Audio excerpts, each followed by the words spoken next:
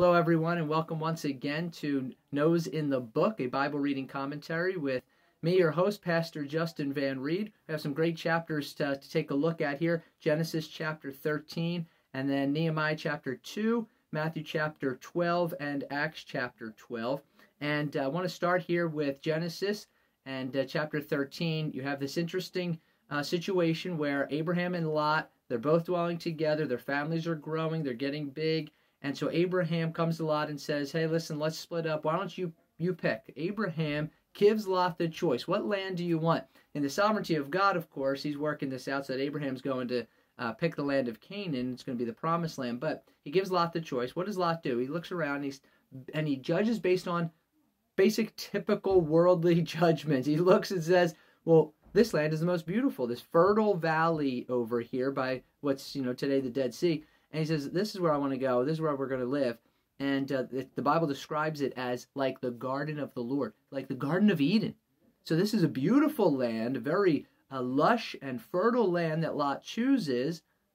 But there's a problem. Now, first of all, Abraham, meanwhile, is going to get the land of Canaan. And God here in this chapter makes this promise to him look left, right, up, down, right, north, south, east, west.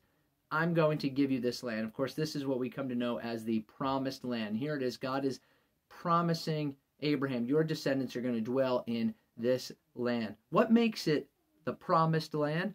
Because God is the one who promises it. Not because from worldly standards it was the best, but because God says, I'm going to make it the best for you. And of course, when you get to the law of Moses and he describes what will God do in this land if the people will obey, it will be the most fertile, land ever. It will just keep on producing uh, in abundance if the people will be obedient because it will be God who is at work there. Meanwhile, Lot has chosen what looks like the best land, but spiritually is a very dark area. Sodom and Gomorrah, the cities are in this area that Lot chooses. And of course, in a few chapters, we're going to see the problems that arise there and arise with Lot's family because of being there. And so, you know, you got to again go back to the fact that you know we judge on appearances. God's going to make that point way later here in uh, the book of Samuel. Man judges on outward appearance. God looks at the heart. And uh, and and really, the question is: Are we going to judge based on worldly judgments and standards, or are we going to trust the Lord and what He has? All right, moving on to Nehemiah. Nehemiah chapter two, and this is a great chapter. Nehemiah goes to the king and the, you know wants to go home to rebuild Jerusalem and the king grants Nehemiah's request. Now, if you're wondering, what's the difference here between Ezra and Nehemiah? What's really going on here? I'm kind of confused in these books. Uh, Babel, the Babylonians come into Jerusalem, and under the judgment of God, because God says so, Babylonians under Nebuchadnezzar, they destroy the walls of the city of Jerusalem and they destroy the temple of God within Jerusalem. All right, now, fast forward here to the time of Ezra and Nehemiah here. So, 70 years plus has gone by since that last, uh, since the Babylonians came through and destroyed Jerusalem. And now God is beginning fulfillment of his word to Jeremiah. The people are going to return. Okay, we read about that in Ezra. As the people return, though, the first focus they, uh, where they focus their attention is on the altar of the Lord, the temple of God. So Ezra is focused on rebuilding the temple and the worship that takes place there and Nehemiah is focused on rebuilding the city. So the Babylonians destroyed the city of Jerusalem, the walls of Jerusalem, and they destroyed the temple. Ezra comes, and, and in Ezra we read about the reconstruction of the temple. Here in Nehemiah, we read about the rebuilding of the walls of the city of Jerusalem. And that's what's going on here in Nehemiah chapter 2. He's going to go home, he's going to survey the walls. But the real uh, the real point of Ezra and Nehemiah is the sovereignty of God. Why is it that Ezra and Nehemiah, why is it that these folks, Zerubbabel and others as they return, that they have favor with the king? Why is it the king gives these letters that Nehemiah asks for? It's because of the sovereignty of God. It's because when God says something's going to be, it's going to be. And so uh, Ezra pointed this out several times. Nehemiah says in this chapter, the gracious hand of the Lord was on me. Okay, so when God is with you, then you will have success. When God decides something's going to be, it will be. And so we see that here in Nehemiah chapter 2. All right, fast forwarding now to the New Testament, Matthew chapter 12. I want to start just by looking at this opening paragraph here. We don't have time to go through the entire chapter of what's going on Matthew chapter 12.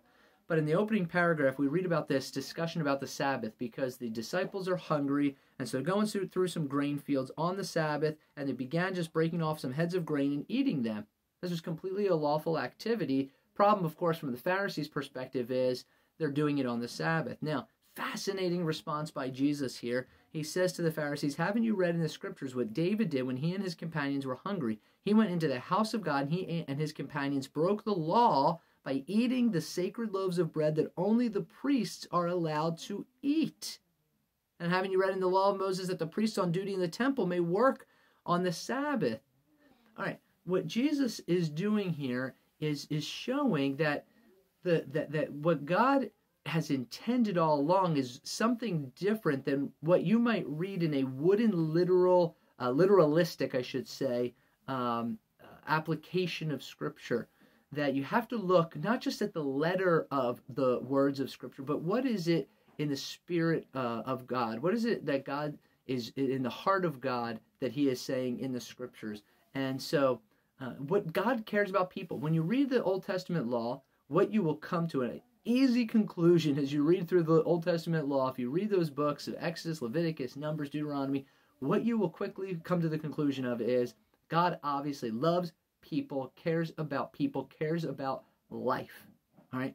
So, you have the situation that Jesus brings up where David and his companions, they're running, they're hungry, they're going to die of starvation. What does God really care about? Consecrated bread or the life of David and his men? God cares about life. And so uh, you have to remember that when, when, when reading scripture, what does the, the Spirit of God want to say? What is the Spirit, the intention of God here? And, uh, and be careful not to have too wooden or literalistic of an application there of the scriptures. Clearly, Jesus is saying here, uh, no, no, no, the heart of God has not changed. Right? The, the spirit of the law has not changed. And of course, Jesus has the perfect interpretation, unlike the Pharisees, who uh, who only care, of course, about themselves and are using the law to uh, to that end. All right, flipping over here, last couple minutes, Acts chapter uh, 12, and this almost is a comical chapter, I think, because you have the situation where uh, Peter's in prison. He, he, the Spirit of God, the, the angel comes, it frees Peter, Peter from prison, and the people in the house are praying. And Peter comes to the door. The little servant girl goes to the door. Uh, it says here, uh, she answers the door. She recognizes Peter's voice and is overjoyed. Instead of opening the door, she ran back inside and said, Peter standing at the door. You almost get this picture of Peter, you know, knocking at the door. And she comes to the door and says, Peter, and then slams the door in his face.